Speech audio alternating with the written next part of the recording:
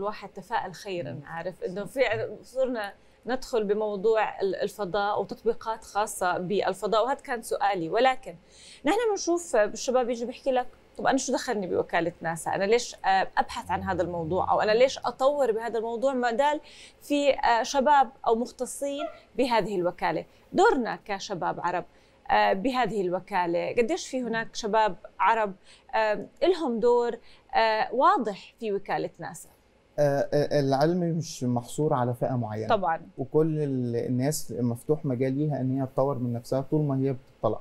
في عرب كتير شغالين في وكالة الفضاء الأمريكية م. ناسا وعملوا إنجازات كتيرة. أبرزهم دكتور عصام حجي طبعا. آه والدكتور فاروق الباس. طبعا. آه علماء كتير مصريين وشباب كتير بدأوا يشتغلوا في وكالة الفضاء الأمريكية ناسا وكالة الفضاء الأوروبية في عدد من وكالات الفضاء الدولية وبيعملوا أبحاث وبيشاركوا في مسابقات.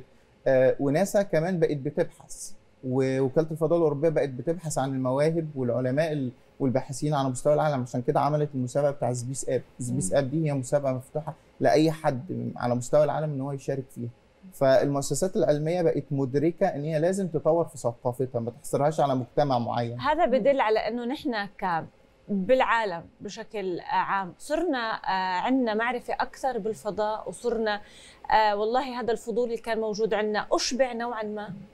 والله إحنا كل ما بنتوسع في مجال الفضاء بنعرف إن إحنا ما حصلناش 1% من المعرفة الحقيقية.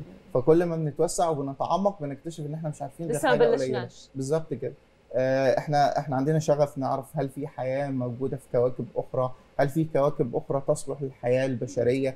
الموضوع فيه شغف كبير جدا. وكل ما بنتعلم وبنعرف أكتر وبنكتشف أكتر لأ بيبقى عندنا أكتر. فضول أكتر وطمع أكتر في إن إحنا نعرف